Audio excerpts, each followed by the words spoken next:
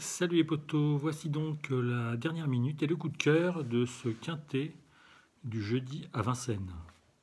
Comme coup de cœur, j'ai choisi le 9, Geisha Sund. Elle revient vraiment sur le parcours qu'elle affectionne, hein. donc elle a déjà trotté en, dessous de une, une 13, donc elle peut vraiment mettre tout le monde d'accord. La dernière minute, le 3, Agora du Goutier, un petit loupé dernièrement, mais là elle retrouve que les femelles, c'est une sacrée finisseuse, donc attention à elle.